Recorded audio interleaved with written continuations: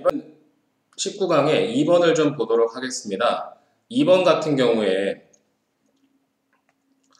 2번 같은 경우에는 어법 문제입니다. 어법상 틀린 것. 여러분들이 1, 2, 3, 4, 5 어법에서 어떻게 이제 풀어갈지를 보는 것인데 지금 1번 같은 경우에는 지금 여기 동사 자리인 거 보이시죠? 그런데 was가 왔습니다. 단수 동사라는 뜻이죠.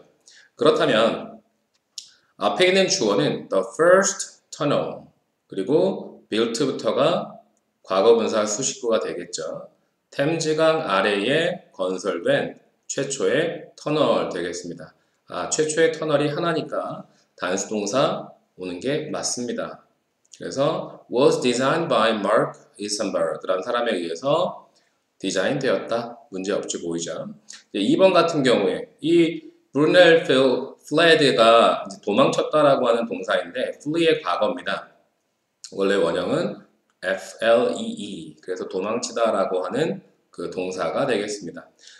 어, 프랑스 혁명 때 뉴욕으로 도망갔습니다. 그리고선 그 다음에는 런던으로 갔습니다. And at one point 어떤 시점에서 그러면 주어는 지금 브루넬이라고 하는 사람이고 그가 그 자신이 어떤 상황에 감옥에 갇힌 그 자신을 보게 되었다 이런 뜻이잖아요. 이때 여기서 이제 제기대명사가 등장해야 되는데 제기대명사 중에서 지금 앞에 나오는 주어를 다시 받고 있습니다. 그래서 제기대명사 himself 같은 경우에는 제기적 용법이라고 볼 수가 있습니다. 앞에 나왔던 주어를 뒤에서 다시 받는 경우 우리가 제기적 용법 말고 강조 용법, 뭐 강조해주기 위해서 한번 더 써주는 경우도 있고 그리고 전치사와 결합해서 쓰이는 제기 대명사도 있는데 이 부분에서는 브루넬이 그 자신이 감옥에 갇혀 있는 것을 보았다, 알, 알았다 이런 뜻이니까는 주어가 다시 한번 반복돼서 쓰여서 himself라고 하는 제기대명사를 써줘야겠죠.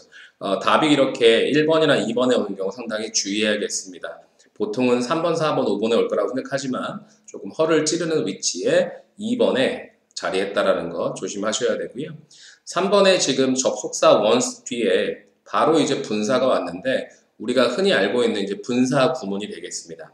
예를 들면 아까 브루넬이 감옥에 갇혔었는데 브루넬이 뭐 일을 했다.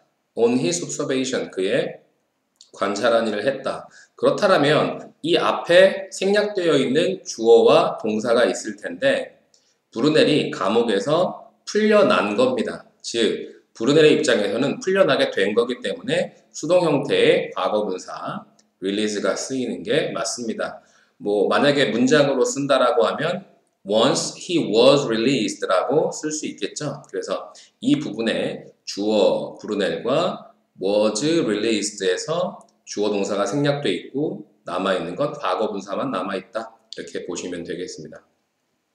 4번 같은 경우에는 여러분들이 흔히 알고 있는 관계대명사의 계속조 용법, 컴마 위치로 되어 있는데 뭐 그리고 그것은 그럼 앞에 있는 사물이 주어가 되겠죠. 그래서 앞에 있는 사물이 주어가 되고 그리고 그것은 was used to bore 파는데 사용되었다. 밑에 힌트 단어에 bore가 하다, 뚫다 이런 뜻이 있죠.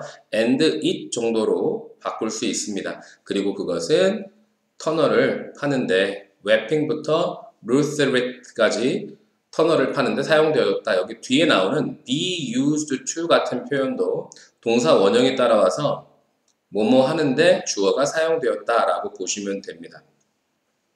5번 같은 경우에는 어, 전치사 뒤에 unsuspecting이 나오고 pedestrian, 보행자가 나왔는데 앞에서 뒤에 따라 나오는 명사를 수식해주는 형용사 역할을 하고 있습니다.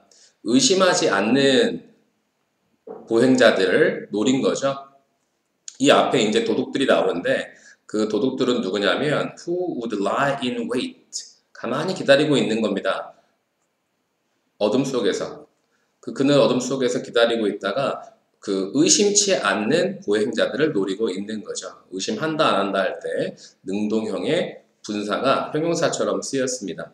이 부분은 뭐 좀조개라고 하는 표현이 나오는데 좀조개에서 영감을 얻은 터널 공법 뭐 전반적인 내용은 이것이지만 사실 어법 문제고 어떤 터널 얘기이기 때문에 영국의 템즈강 밑에 최초의 터널 얘기이기 때문에 그 최초의 터널을 브루넬이라고 하는 사람이 영감을 얻었다. 그리고 그 터널을 어, 뚫었다. 뭐 이런 기본적인 내용의 지문 정도가 되겠습니다. 밑에 나오는 excrete라고 하는 배설하다라는 단어도 같이 알아두시면 좋겠고요. 전반적인 내용은 해설에서 한 번 더 살펴보시면 좋겠습니다.